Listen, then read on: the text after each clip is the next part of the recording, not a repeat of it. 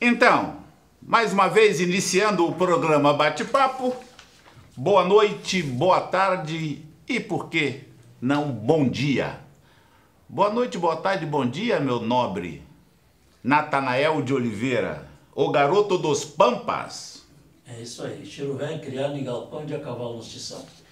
Beto, os nossos cumprimentos a todos os nossos telespectadores que nos dão a honra da sintonia em mais um programa Bate-Papo aqui na TV Galega, a imagem da cidade.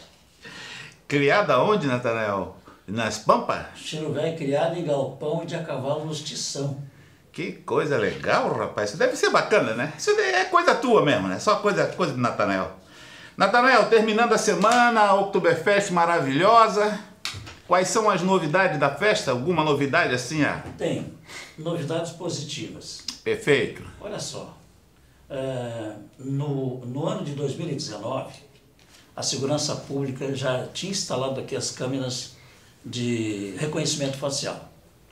Então foram 26 casos que foram registrados. Agora, já 11 pessoas foram presas, estavam lá se divertindo, os outros chegaram. 11? É, tu está devendo, que foi flagrado pelas câmeras. Isso dá uma maior segurança para a festa, né? Certo. Agora, infelizmente, já nos desfiles, infelizmente, acontece vários casos de pungas, devido ao aglomero de pessoas, um empurra para o outro, tem uma quadrilha que um empurra o outro, oh, desculpa, desculpa, desculpa, com um copo de Aí eles tomam Aí o outro já faz um... Mas, mas Nathanael, tem uma coisa, né? Festa, festa de público, o pessoal, a gente, nós vacilamos muito, né? É celular na cartela, celular é celular no bolso, tem que ter um certo cuidado. E agora, todo mundo tem mania de dar uma filmadazinha no. no, no Nós temos que cuidar com tudo, né? Aí. Teve um caso de um advogado que ah. filmou lá, um parente dele que estava desfilando, botou no bolso, levaram a carteira do AB, telefone. Pois é. Celular. Nós estamos nessa época de ladrão, tem até o Lula que é candidato aí a um vagabundo desse ladrão sem vergonha. O cara é candidato, então nós temos que cuidar, porque eu acho engraçado, Nathanael. Você faz seguro de carro, certo? certo? Faz seguro de carro, você cerca a tua casa, né? Bota tranca bonita no carro. Aí vai lá, vota no Lula. Aí, aí é brincadeira, né? Tem cara. Bom, mas deixa essa coisa. Não vou me estressar. Não vou me estressar. Natanael, então quer dizer que o, o, o, a baixa foi essa então? É. Ah, os, os, os, as Mas muito caso, muito caso, é? Existem, com uma festa do tamanho dessa, sim, nós sim, tivemos sim. mais de 70 mil pessoas esse final de semana. Que coisa ah, maravilhosa, então, né? Com tudo que o Ministério Público exige, os 41 mil pessoas, depois tem que fechar os portões. Sim. Aí aquele rodízio, né? Saiu 10, entrou 10, aquela coisa toda. É uma trabalheira danada, mas se controla o número de pessoas dentro da festa que dá para circular. Eu e... me lembro que naquela festa de 86, se eu não me engano, veio um final de semana, teve um milhão de pessoas. Um milhão, um milhão. Um milhão. Eu saí lá do Galegão para ir até onde é o primeiro pavilhão hoje, eu levei 45 minutos descosteando a cerca. Era um formigueiro. Sim. Ali sim, os homens... demorou tempo, hein, velho? É, ficou não, longe. Imagina, ficou longe isso aí. Quanto tempo levasse dali, irmão? 35 minutos. Ah, já diminuiu 10, já ganhamos 10. Não, Se a gente continuar, daqui a pouco levasse 15 25. minutos. Levasse 15 minutos. Não, Não, mas não, eu foi entendo. 35 aquela, minutos. aquela, naquela época tinha muita gente, né? Muita gente mesmo, a festa de. Até tinha aqueles negócios que ele vendia ali fora, era uma confusão, o pessoal chegava meio mamado na festa. Houve época que locava-se ônibus de excursão em São Paulo, trazendo só punguistas.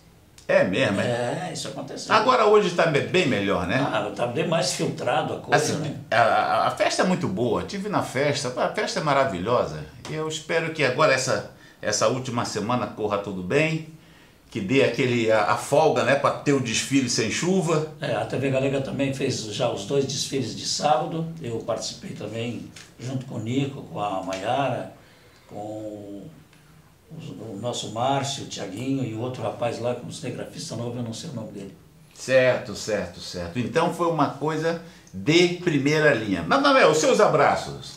Pois é, Beto, hoje eu quero mandar um abraço pro meu amigo, esse Chiro Velho, também criado em Galpão, o Valdinei, o Vacelai e o Lucimar, lá do estacionamento no começo da Nereu Ramos. Ali tem manobristas de primeira qualidade, tem lavação de carro também. Se você lavar cinco vezes, ganha uma lavação gratuita. Então, um abraço para vocês lá. Quero mandar um abraço também hoje especial, Beto, ao meu neto Lucas, Coisa linda. que é a esposa dele, a Vanessinha, que me deram de presente um bisneto, o Davi. Oh, parabéns, parabéns. Chegou o Davi forte, É mesmo? bonito que nem o bisavô. Ah, meu Deus. Então, quero mandar um Que abraço coisa lá pra linda. minha Que venha com saúde, né? É. Saúde. A minha filha Maninha, a Nath, que ficou vovó, o meu genro Laí, ao meu querido neto Lucas, que me deu esse bisneto maravilhoso, lindão, parecido com o pai dele, que é o meu neto Lucas. Parabéns para vocês, que Deus abençoe a todos. Então, tá falar em neto, rapaz. Sabe que eu tô com um problema sério com meu neto, né? Ô Vicente, O Vicente. O Vicente tá fazendo dois meses, né? Fez dois meses agora, tá. Minha queria vir filha. para a festa? A minha filha tá preocupada, que ele só, que só fala de mim. Cadê o vovô? Cadê o vovô? Aquela coisa toda e tal. Então, um beijo aí no coração. É. Um beijo aí no pessoal todo da meu neto, minha É, filha, meu genro, pro- as minhas filhas, minhas netas. Eu Essa tava- turma boa aí. É, eu estava dizendo para o meu filho, o Rodrigo, que mora lá em Francisco Beltrão, eu digo, "Ah, tá, vamos formar uma creche. Que já veio a Ana Júlia, que ele me deu a Ana Sim, Júlia. sim. O meu caçula, a esposa dele está grávida da Sara. A minha enteada está esperando o Luca. Que E maravilha. agora cara. veio o, o, o, o Davi, que é o meu bisneto. Já- Você já pode até criar uma creche, né? cara? Tanto neto assim. CI aí. Que maravilha. Que, mas que, o importante é que vem com saúde, né, Natália? É. Bastante saúde. Então tá aí, estamos chegando também a semana que vem, nós já vamos ter a eleição. Mas, gente, não se engane, não se engane, gente. Pelo amor de Deus. Pela, não é porque você não gosta do piloto que vai torcer pro avião cair. Pelo amor de Deus, gente. Largue esses bandidos, largue essa gente mentirosa. Pelo amor de Deus. Bom, vamos para frente. Então, eu quero mandar aqui um abraço a um abraço geral. Hoje eu vou mandar um abraço, um abraço a todos os meus amigos, a todo o pessoal lá da 3426, a todos os meus manos. Pronto, quero mandar um abraço geral. Sabe, eu tô meio assim desgastado. Eu não sei se é muita festa, alguma coisa assim. Mas eu quero mandar o importante, o coração tá aberto.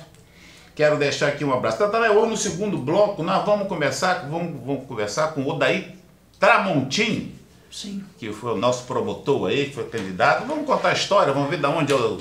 É, o doutor Daí Tramontina é um excelente, foi- fez um bom trabalho, tanto aqui em Blumenau como em Timbó. Foi um promotor, teve no GAECO também. É ele que começou esse Ele negócio. começou. Vamos perguntar para ele quando ele chegar aí. É. Me diz uma coisa, Natanel. Depois, depois da, depois, é, depois dessa aqui no estado, parece que o governador com a vice-governadora não se entende mesmo, né? Não tem jeito. Agora houve uma oportunidade do governador sair para poder fazer aquele encontro mundial lá do meio ambiente, mas era para o presidente da Câmara lá do, do, do- da, da Câmara não do Da Assembleia. não, não, não, não, não, não, não. Lá onde faz as contas, Tribunal de Contas, lá para assumir. Mas- Que- é, é, mas não, não, o cara viaja. A, a, a lei é assim, sai o governador, assume o vice. Se o vice não puder, assume o presidente Sim, da Assembleia. mas eles têm um acordo de cavaleiros, o presidente da Assembleia não está e vai o Ah, presidente aí da o Contas. Isso, isso. Aquela para tirar foto, para se guardar vem, foto. aí depois vem o desembargador. Isso, aquela para tu tirar foto, não tem aquelas coisas de foto? Aí parece que a menina lá agora que está eleita trepou nos tamancos e não quis e co- governador, coitado, né? Falar no governador, uma coisa que o governador deveria fazer, pra, eu acho, era mandar essa, é, essa, essa turma dele que fez a campanha dele tudo embora. É? Que turmazinha ruim, hein? Ó. Perder pro Décio Lima. Que turma ruim. A turma do Amin também, outra turma ruim. Fizeram nada. Como é? O governador teve um problema sério. Foi aqueles 33 milhões. Mas o homem arrumou tudo, me parece, me parece, que já pegou mais de 16 milhões, já pegou imóvel dos caras, e mas não, ninguém sabia disso. Agora que o homem perdeu, estão É, falando. Um outro tiro que ele levou no pé, que muita Ah. gente cobrou dele, é. que ele liberou cerca de 300 milhões para a BR-470 e esqueceu das SCs, Também teve que isso. estão cheios de buracos. Você vai de Massaranduba até Guaramirim, você tem que fazer que nem cobra, desviando para lá e para cá, riscando ainda, furar um pneu, entortar uma roda e, se- e se envolver num acidente. Tu agora tu fez igual essa televisão que tem aí, os caras só falam em buraco, nunca vi uma televisão tão forte. Os caras ficam falando em buraco na rua. Bom, Mas tudo certo, mas isso aí tem mesmo. pesou, pesou. Isso aí pesa, isso aí pesa. Então eu espero aí que o governador, não sei se ele vai voltar politicamente, o homem não tem cara de bandido. Ele, o bandido tem que ter cara. Tu olha a cara do Lula, aquilo é bandido. Entendeu? Olha a cara do Décio, tu olha a cara do Décio, vê Viu o quê? conversa- Aquilo é gente ruim. Vi uma conversa que existe uma possibilidade de ele largar candidato a prefeito da capital, Quem? O, Moisés. o Moisés? É. É, eu acho que botaram o Moisés no barquinho. Moisés, pra mim, pra mim ele foi igual o Moisés da Bíblia. Não mataram, mas deixaram correr Não mataram, mas botaram o homem no barquinho. Mas eu espero lá que ele conta a vida dele, tem um cara. Todo mundo tem que ter uma oportunidade, né? Às vezes dá errado, né? Às vezes dá certo. O importante é ser do bem, né? O cara pode errar, mas tem que ser do bem, não é verdade? Verdade. Então, isso que acontece com as pessoas, nós temos aí que cada vez mais. Porque agora nós temos que nos agarrar na oração. Porque parece que o pessoal gosta de coisa ruim, mas vamos deixar acontecer. Deus É. sabe de tudo, vamos deixar acontecer. Até porque a oração é a chave da vitória, né? É verdade. Mas a urna também, né? Tem que botar na urna, né? Tem que botar na urna. Se não botar na urna, não chega.